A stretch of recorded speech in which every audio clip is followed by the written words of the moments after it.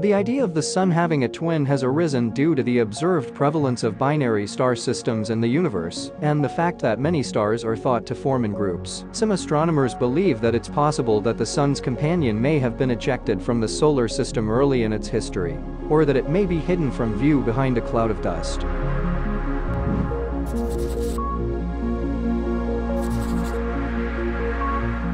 It is known as HD 186302 and is 184 light-years away. Scientists are almost certain that is the long-lost sibling of our home star. The vast clouds of gas and dust pushed into clumps that gradually collapse under their own weight, forming the very first stages of a star, are where the majority of stars are born in groups of thousands or more. It is believed that this is how the sun began its life 4.57 billion years ago. The stars eventually escape into the galaxy on their own but most of them have at least one other companion. Up to 85% of all stars could be in binary pairs, triple, or quadruple systems, according to estimates. Additionally, binary pairs make up more than half of all Sun-like stars. Our Sun is a little odd because it is a single star that lives by itself. However, there is evidence to suggest that it once had a binary twin. Most, if not all, stars are born with a binary twin according to recent research. One thing we do know is that the Sun's siblings are unquestionably present in space. Due to the Milky Way's abundance of stars and the Sun's siblings dispersion, as with all stars,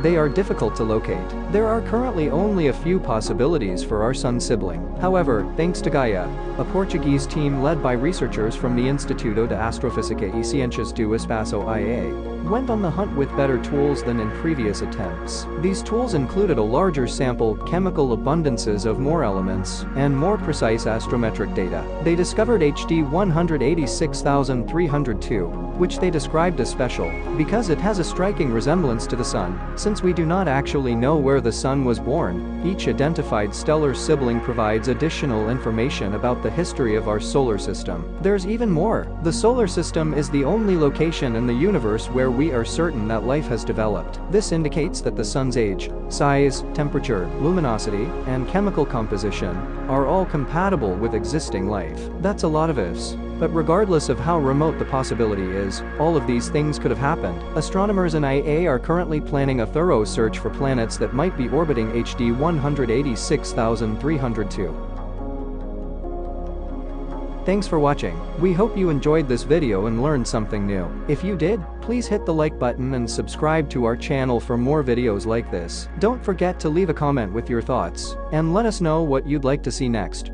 We'll see you in our next video.